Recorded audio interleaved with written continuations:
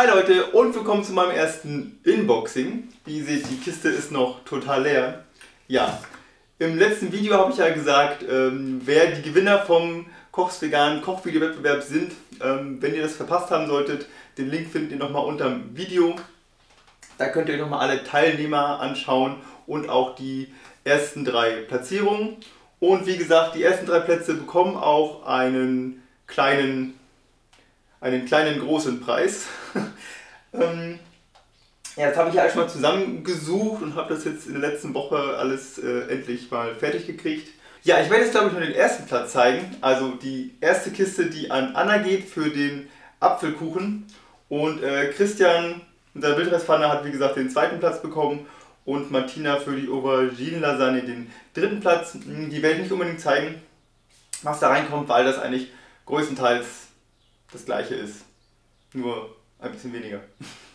so, deswegen, ähm, ja, ein bisschen habt ihr mir auch von euren äh, Gimmicks geschickt. Also ich glaube drei Gimmicks habt ihr mir geschickt. Passt sehr gut. Kriegt jeder eins, ein Gimmick von jemand anderem. Ähm, die werde ich auf jeden Fall zeigen. Aber ansonsten ist das, wie gesagt, ähm, für alle so ziemlich das gleiche. Ja, was der erste Platz bekommt und der zweite und dritte nicht, das kann ich dann auch noch sagen.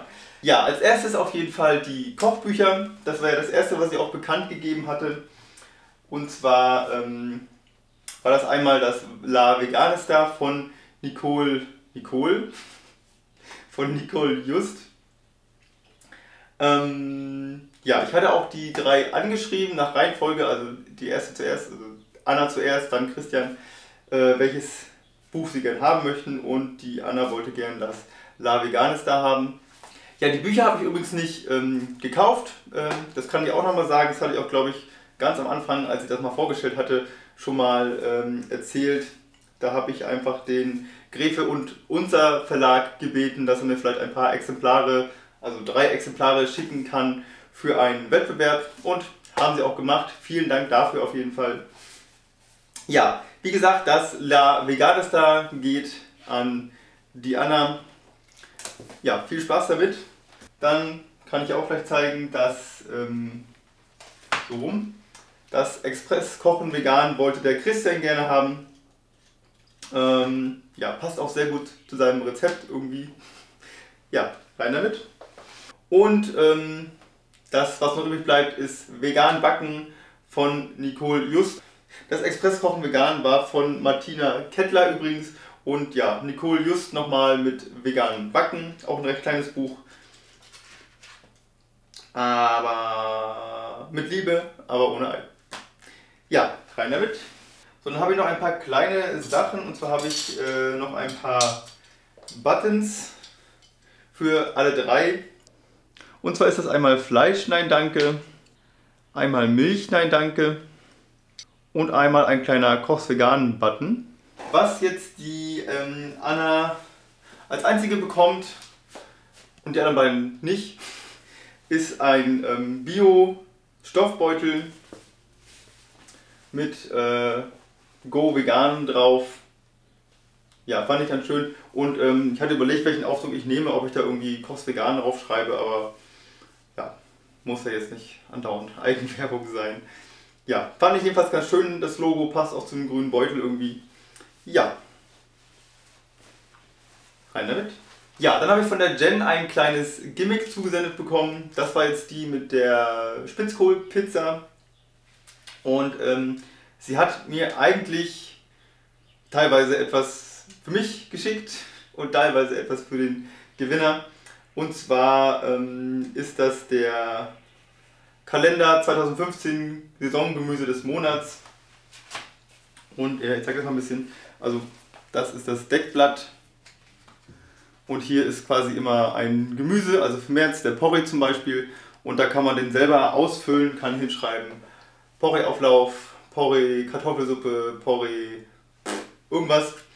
Ähm, kann das hier quasi mit Linien alles dazu schreiben und hat dann also quasi mit dem Saisongemüse des Monats ähm, ganz viele Rezeptideen, die man in den Monat über ausprobieren kann. Ja, finde ich eine super Idee. Ähm, und sie hat, wie gesagt, eigentlich einen für mich geschickt und einen für einen Gewinner oder den Gewinner. Ähm, das Ding ist, ich habe schon so viele Kalender bei mir zu Hause rumhängen. Also wirklich viele. Also einen im Arbeitszimmer, einen in der Küche, einen im Flur und ja, deswegen habe ich mich jetzt einfach kurzerhand entschieden, bevor der bei mir rumhängt und ich den vielleicht total vergesse, jetzt sowieso, wenn jetzt äh, die große Sache mit dem Restaurant demnächst kommt und ich sowieso wenig Zeit habe, ähm, wird das, denke ich mal, wahrscheinlich einfach untergehen. Deswegen habe ich mich kurz entschieden, ähm, die beide zu versenden. Und sie hat mir auch noch ein kleines Päckchen mit scharfem Chili dazugelegt. Ja, ich habe mir das jetzt so gedacht, dass ich den Kalender an den ersten und zweiten Platz gebe und das Chili an den dritten Platz für Martina. Ich hoffe mal, du magst scharfes Essen. Ähm, ja, mache ich jetzt einfach so, weil wie gesagt, bei mir wird das echt untergehen. Aber ähm, prima Idee auf jeden Fall mit dem Saisongemüsekalender. Ja, finde ich toll. So, rein damit. Dann habe ich noch ein weiteres Gimmick von der Anna bekommen. Das war die mit dem Walnuss-Rucola-Risotto, glaube ich. Und ähm, ja, ein Minigarten, Basilikum. Und da ich, glaube ich, bei Christians Kanal öfter ähm, Gartenvideos gesehen habe, ähm, dachte ich, passt das ganz gut für den zweiten Platz. Ja. Und das dritte Gimmick kam von Anna, also die den ersten Platz gemacht hat mit ihrem Apfelkuchen.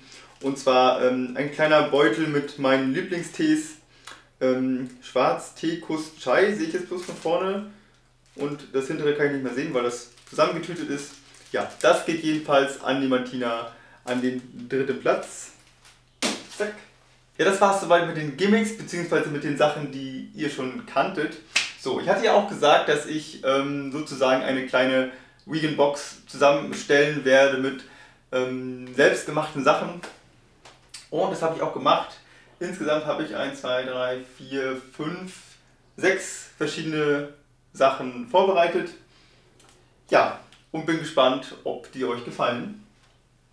Ja, als erstes habe ich hier ein Gemüsebrühenpulver selbst gemacht. Ähm, wenn ihr wissen wollt, wie ich das gemacht habe, ich habe da auch schon mal ein Video zu gemacht. Ähm, Lucy hat mir noch ein bisschen mehr verschiedene Gemüse reingetan. Also ich, auf jedem steht auch immer die Zutaten drauf übrigens. Äh, Gemüsebrühe, Zutaten, Salz. Ist wirklich wenig Salz drin. Also ich glaube äh, auf die drei Gläser vielleicht zwei Teelöffel oder so ähnlich.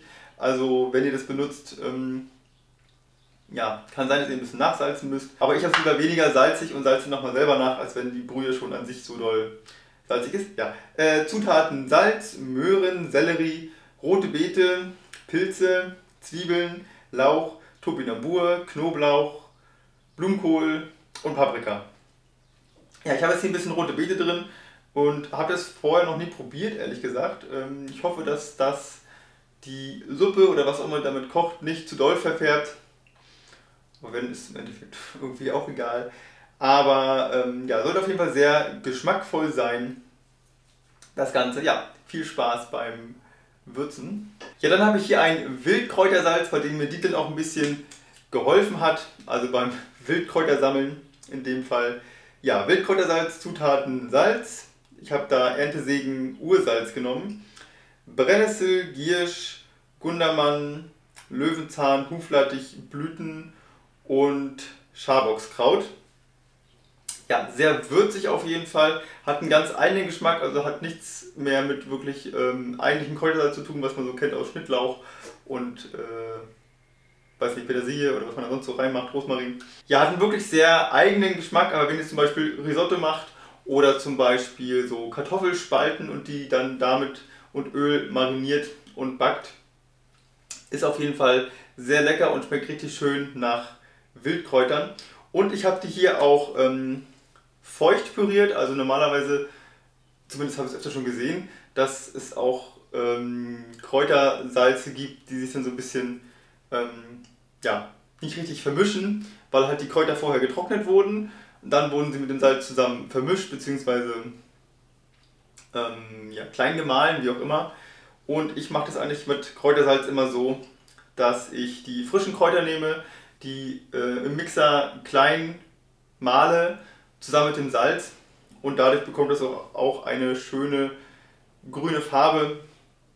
Und beim anderen, wenn man das erst trocknen würde, dann würde das eher so ein bisschen gräulich werden. Das kann auch passieren, dass das über die Zeit die Farbe verliert. Aber wenn ihr das gut verschlossen lasst, dann wird es auf jeden Fall auch ja, intensiv bleiben auf jeden Fall. Jo, rein damit. Dann haben wir Chiliöl. Ähm, das sieht jetzt hier ein bisschen trüb aus, weil ich das aus dem Kühlschrank geholt habe, beziehungsweise weil ich es im Kühlschrank lagere. Ähm, ja, Chiliöl, Zutaten, Habanero-Chilis und Olivenöl. Und ja, es ist Bio-Olivenöl. Außerdem, die Habanero-Chilis sind von meinem eigenen Busch, der jetzt leider eingegangen ist. Aber ähm, die Habanero-Chilis habe ich selber gezogen quasi und ähm, ja, in dem Olivenöl eingelegt, dann die Chilis rausgenommen und hatte dann ein schön intensives Öl. Meistens, wenn ich das benutze und ich mache mir zum Beispiel eine Nudelfanne, eine Reispfanne, eine Kartoffelsuppe oder irgendwas in der Richtung, dann nehme ich so einen Teelöffel, je nach Menge natürlich, einen Teelöffel, einen halben Teelöffel und rühre das so mit in die Suppe oder in was auch immer mit rein und habe damit so einen schönen ähm, Habanero Chili Geschmack, der dann auch nicht zu scharf ist. Ähm, ja, trotzdem solltet ihr ein bisschen vorsichtig damit sein. Also ich weiß jetzt nicht mehr, wie äh, stark das ist, oder wie man das bezeichnen könnte, wie stark das ist. Aber ja, probiert es auf jeden Fall erstmal mit kleineren Mengen aus. Und ähm, es reicht manchmal auch, wenn dieser ganz leichte Habanero-Chili-Geschmack in, in eurer Suppe ist oder was auch immer. Da habt ihr dann so einen richtig schönen, ja, intensiven Geschmack, der auch nicht mal ähm, unbedingt scharf sein muss. Ja, ich auf jeden Fall mag den ähm, Habanero-Geschmack sehr, sehr gerne und ja, ich hoffe mal, dass euch das auch gefällt. Dann habe ich hier noch dieses und ähm, ich werde jetzt nicht verraten, was das ist, aus dem einfachen Grund, weil ich vorhabe, dazu noch ein Video zu machen und weil das so ein bisschen, ja, ich will die Überraschung gerne dann haben. Ähm, ja, ihr drei wisst es auf jeden Fall, denn es steht hier alles drauf, was das ist, was da drin ist und auch, wofür das gut ist. Für alle anderen ähm, hoffe ich, dass ich irgendwann schaffe, das Video dazu zu machen. Denn wie gesagt, wir haben gerade noch ein paar andere Projekte am Laufen. Ja, okay, rein damit. Dann habe ich noch eine, ein Fruchtgelee gekocht, auch aus eigenen Früchten aus dem Garten. In diesem Fall aus Johannisbeeren, Brombeeren äh, und Kirschen. Und ich habe als Einlage ein bisschen äh, Orange und Banane dazu gegeben. Einfach um dem Ganzen etwas Besonderes zu verleihen. Ähm, das ist jetzt ein ziemlich großes Glas. Das geht auch an den ersten Platz, an die Anna. Für euch beide habe ich jetzt hier nochmal zwei kleinere Gläser. Und, ähm, also es ist ein Fruchtgelee. Übrigens, habe ich, glaube ich, schon gesagt, egal. Ähm, weil ich mag in Marmeladen mit Brombeeren und Johannisbeeren ja, Kirschen ja sowieso, äh, die Kerne nicht so gerne, weil die immer in meinen Zähnen hängen bleiben und deswegen ähm, siebe ich das einfach immer durch und dann hat man ein quasi ein schönes Fruchtgelee, wo noch ein bisschen Fruchtfleisch mit drin ist, weil das Sieb ja trotzdem durchgeht. Ja, finde ich so auf jeden Fall sehr, sehr lecker. Ich hoffe, ihr auch. Ja, und eine kleine Sache habe ich hier noch und zwar eine Wegerich-Salbe, selbst gemacht aus äh, Spitz und Breitwegerich, Olivenöl und Skibutter. Und ähm, das ist, also Wegerich wird ja zur Wundbehandlung genommen ursprünglich. Da hat Dittel nochmal ein Video zu gemacht zu, der, zu dem Spitzwegerich und Breitwegerich. Ähm, habe ich draufgeschrieben hier zur Wundbehandlung und Insektenstichen. Also ich habe es meistens nicht bei Wunden genommen, da kommt bei mir Pflaster drauf und dann heilt das ab. Aber ich nehme es gerne bei Insektenstichen, bei Mückenstichen schmieren wir das ein paar Mal rauf und dann wird das auch ziemlich schnell ähm, besser. Das sind jetzt solche kleinen Gläser nur, aber die reichen auch, denke ich mal, eine ganze Weile. Leider hat das Etikett nicht ganz so aufgepasst, deswegen ist, steht es ein bisschen über, aber es wird, denke ich, hoffentlich irgendwie gehen. Ja, ich hoffe, das ist auch was für euch. So, Rein damit. Ja, das war's auch schon. Also wie ihr seht, ähm, die Box sieht, wow, sieht man das? Ähm, ziemlich voll aus, wollte ich gerade sagen. Jetzt sehen wir durch, das sind jetzt 1, 2, 3, 4, 5, die Buttons 6, 7, 8, 9, 10. Ah, genau 10 Sachen. Und für die beiden anderen halt ähm, ein kleines bisschen weniger. Ja, an dieser Stelle nochmal vielen, vielen Dank an alle elf Teilnehmer des Kochvideowettbewerbs. Waren wirklich super, super Beiträge von euch, alle zusammen. Und nochmal herzlichen Glückwunsch an ja, die ersten drei Platzierten. Ich hoffe mal, ihr werdet mit der ähm, Kochs Vegan Box eure Freude haben. Ähm, ja, in diesem Sinne freue ich mich, dass es das alles so gut geklappt hat. Habe ich ja letztes Mal schon mal gesagt. Und dass ich das jetzt auch in der Zeit geschafft habe, mit den, ähm, ja, die Boxen zu füllen mit den Sachen, die ich geplant hatte. Ja, vielleicht wird es ja irgendwann nochmal einen zweiten Kochs veganen Kochvideo-Wettbewerb geben. Vielleicht auch in anderer Form, mal sehen. Ähm, würde ich auf jeden Fall sehr schön finden. Ähm, ja, erstmal natürlich nicht, wie gesagt. Erstmal habe ich äh, ganz andere Sachen zu tun. Ja, in diesem Sinne, danke fürs Teilnehmen und bis zum nächsten Video. Tschüss. Ja, mir ist ja gerade eingefallen, dass auch noch Ostern ist, jetzt gerade. Das heißt, die Pakete werde ich eh erst nächsten Dienstag abschicken können. Also müsst ihr drei euch noch einfach noch ein bisschen gedulden. Und allen anderen und euch natürlich auch wünsche ich ein fröhliches Osterfest. Feiert schön mit euren Familien. Und ja, bis zum nächsten Video. Tschüss.